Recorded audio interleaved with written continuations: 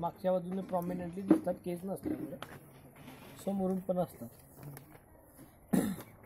साधारण सेंटरला आणि जी रक्तवाहिनी आहे तिच्यावर येणार नाही हे बघून. बाकी कार्टिलेज आहे. याला कितीही मोठं छिद्र पाडलं कसंही कापलं तर जास्त त्रास होत नाही. तेवढ्या पुरतं होतं.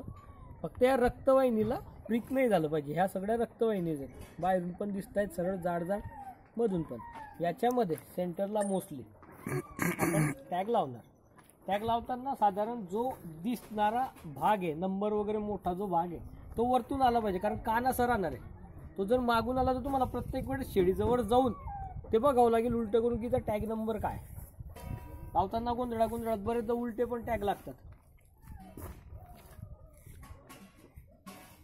हा टॅग गोल फिरतो. त्यामुळे बुवा असाच लागला पाहिजे अशातला काही भाग नाही. हवा तसा.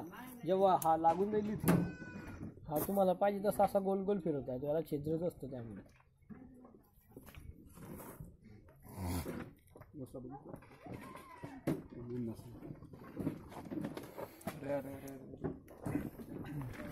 हे बघ ब्लड वेसेल दिसत आहे सर ही आहे ही आहे ही आहे. मागे पण दिसतं मागच्या बाजूने पण आहे.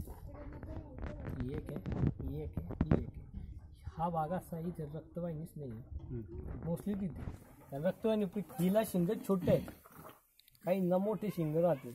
आता सहज अलगत पकडलं जेव्हा प्रिक होईल तेव्हा करता सरळ वर येतो प्राणी आणि शिंग डोळ्याला लागायची भीती जाते त्यामुळे व्यवस्थित पकडणे.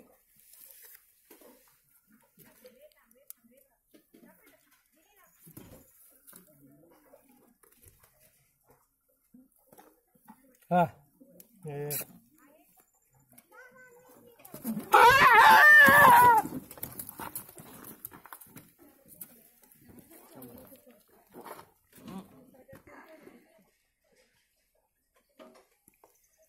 लागली परमनंट